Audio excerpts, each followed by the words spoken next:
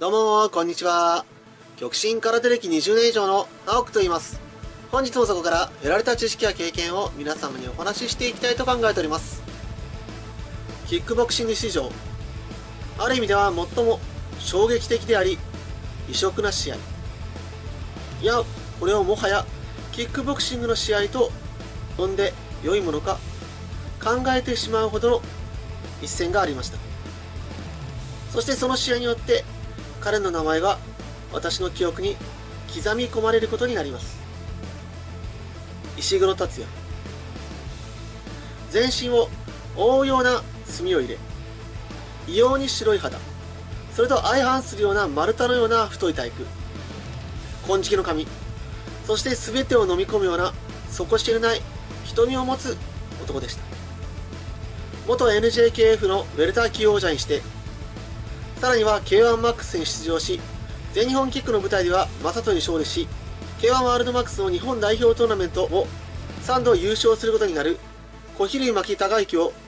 一方的に葬っての準優勝を果たしたムエタイの強豪ガーラン・カウイチットに石黒達也はなんと驚きの一覧の KO を果たしているといいます。さらにその私が衝撃を受けた試合が行われた5ヶ月前。2006年3月17日当時というか現在でもかもしれませんが誰もが恐れると言われているミャンマーロウェ。イ拳にはグローブを着用せずバンテージのみを巻き寝技以外での関節技投げ技バッティング。声ではない場合のみの金敵さえ認められるという恐るべき格闘技に挑んだといいます。そこでウェルター級王者超二円と対戦。いきなりローキックで襲いかかりベアナックルで殴りかかりますがさすがに超二円はうまくかわし逆に前切りからのラッシュ首相撲からの膝切りでプレッシャーをかけられます。しかしそこで引かず同じように前切りからのパンチ首相撲からの膝切りで逆襲を試みます。ローキックの蹴り合いも決して負けていません。2ラウンド。王者の圧力は凄まじいものがありますが徐々に石黒達也の膝からのベアナックルが効果を発揮し始めます。4ラウンドからコツをつかみ始めたのか相手の攻撃をかいくぐって首相撲まで圧力をかけるシーンが見られそして足を掴んでのパンチが強烈に王者に決まっていきます。5ラウンドはさらに一気呵成に攻め立て食いつき。そこから押し込んで距離を空けてパンチのラッシュをお見舞いします。最後は試合終了とともに大の字になるところまで出し切り対戦相手の王者超人円に顔面がボコボコになるほどのダメージを負わせました。そして迎えた全日本キックボクシング連盟メインイベントでの戦いその煽り。公開練習ではまさかの公演で遊具やブランコを使って遊ぶ姿を披露。しかもトランクス姿ハンラデルさらにジムに戻るとキックボクシングでは反則とされている金敵やバッティング歯による攻撃やサミングといった技のコンビネーションを披露。そしてインタビューではタックルからパウンド腕ひしぎをするというまさかの予告反則。絡まれたミッフィーも災難というものかもしれません。対戦相手の金沢久之は第10代及び12代の全日本キックボクシング連盟ライト級王者であり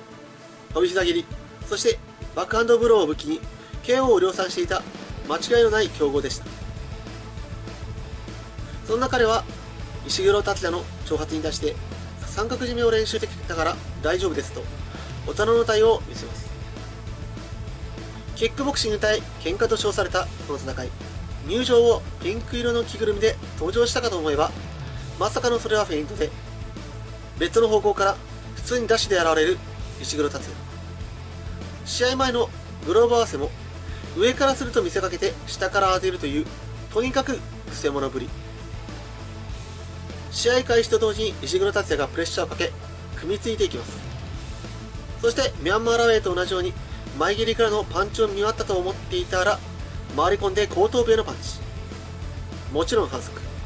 ボクシングではラビットパンチと呼ばれている危険なものです。レフェリーに止められ分けられ。今度はまっとうにローキックからのパンチなどの攻防を見せます。1分半。組みついたところで一瞬のサミング。金沢久之が自らの目をかばうような動きを見せます。そのお返しのようにバックハンドブロー。試合が徐々に白熱していきます。そして残り1分10秒。ここで事件が起きました。ブレイクと分けられた直後に放たれた金沢久之のハイキックが石黒達也の顔面を捉えてしまいそれで彼のスイッチが入ってしまったようなのです。丁寧に謝る金沢久之でしたがなんと石黒達也は驚きのマウスピースを外し投げ捨てダッシュしたところに金沢久之がバックハンドブローを放ちますがそれをかわしてタックルでマウントポジションを取りパウンドからのスタンプ。会場騒然。レフェリー集結。信じられない場面。当然のようにレフェリーからレッドカードが出されます。続行。金沢久之が怒りの突進。それを石黒達也が前蹴りでストッピング。そこから接近戦でパンチの左右の連打。石黒達也が膝蹴りで対応。そして再び組みついたところに石黒達也は豪快にぶん投げます。さらに突っ込んだところに金沢久之のバックハンドブローが直撃。しかし額に当たったのかそれほどダメージはないようでさらに突進。金沢久之が組みつき腰の辺りに落ちてしまったところでその顔面に膝蹴りが直撃。両膝をついているためにこれは反則とは言えるものの故意かどうかは微妙なところともしかしたら言えるのかもしれません。第2ラウンド。開始前にもう一回ちゃんとマウスピースをつけろと指示されいやスタートでこんなスタートはちょっと私は見たことがありませんね。2ラウンドはローキックから組みついての膝蹴りとまともなキックボクシングで構成をかけていきます。そして1分半金沢久之が組みついてもたれかかったところに一瞬の隙をついてバッティング。金沢久之は目の焦点が合わない。うつろな状態になっているようでした。再びのレッドカード続行。意識をもらな金沢久之に石黒達也がプレッシャーをかけねじ倒したところにパンチを打つようなモーションを見せそこにまさかのロープ外のセコンドから怒りの横切りが繰り出され再びレフェリー全員集合。セコンドもリングに上がり